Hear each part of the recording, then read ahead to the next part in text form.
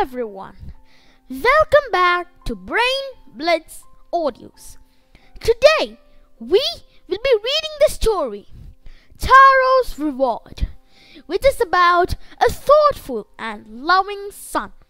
He works hard to fulfill his parents' wishes and gets some unexpected help. Let's begin, shall we? A young woodcutter named Taro lived with his mother and father on a lonely hillside. All day long he chopped wood in the forest. Though he worked very hard, he earned very little money. This made him sad, for he was a thoughtful son and wanted to give his old parents everything they need. One evening, when Taro and his parents were sitting in a corner of their hut, a strong wind began to blow. It whistled through the cracks of the hut, and everyone felt very cold. Suddenly, Taro's father said, I wish I had a cup of sake.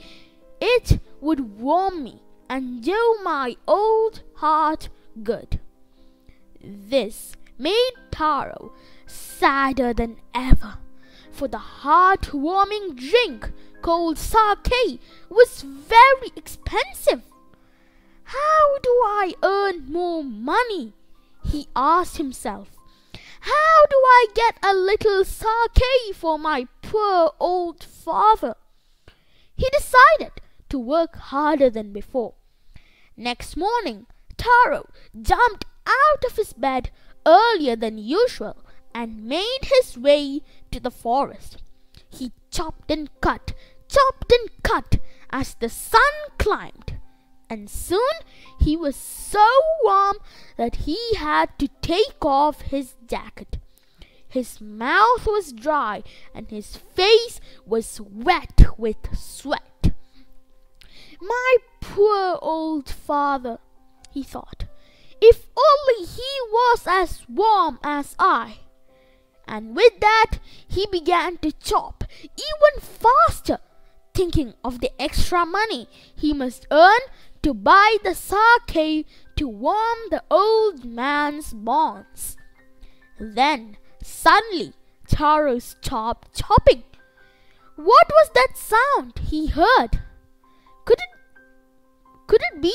Could it possibly be rushing water? Taro could not remember ever seeing or hearing a rushing stream in that part of the forest. He was thirsty.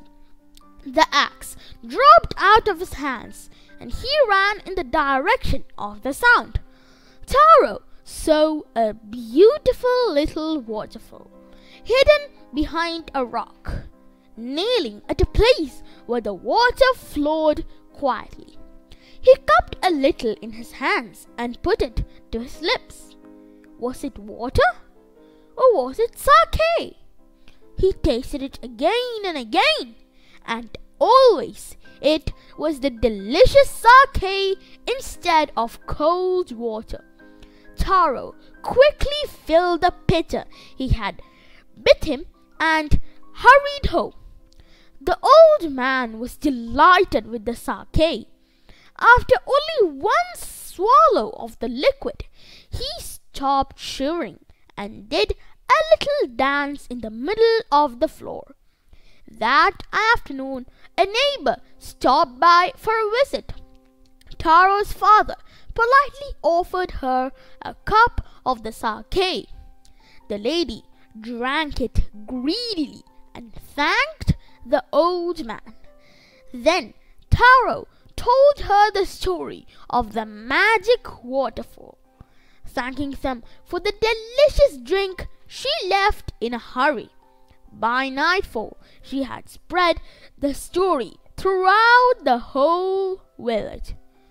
That evening, there was a long procession of visitors to the woodcutter's house. Each man heard the story of the waterfall and took a sip of the sake. In less than an hour, the pitcher was empty.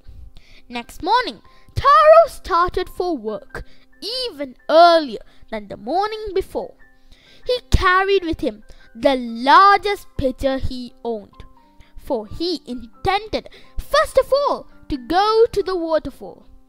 When he reached it, he found to his great surprise all his neighbors there.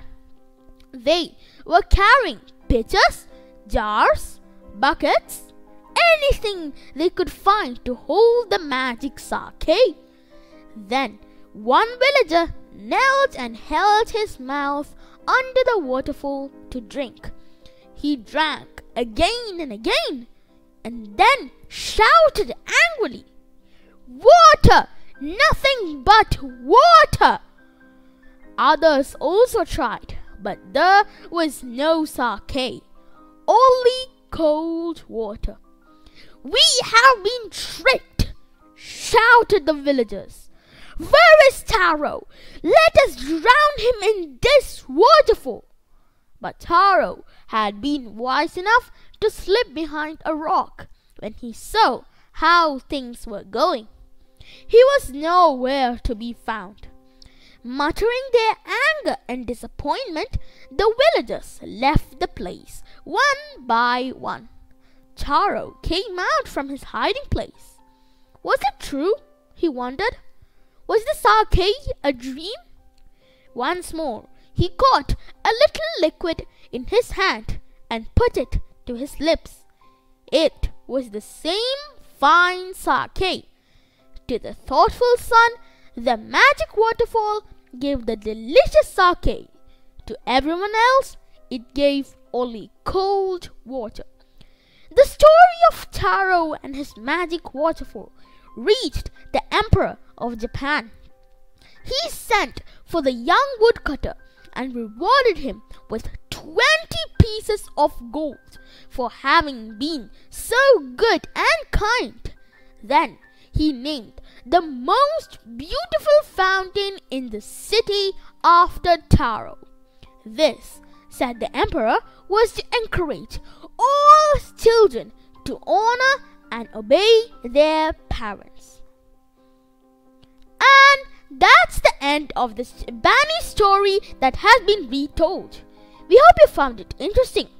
For more useful videos, please subscribe to our channel Brain Blitz Audios.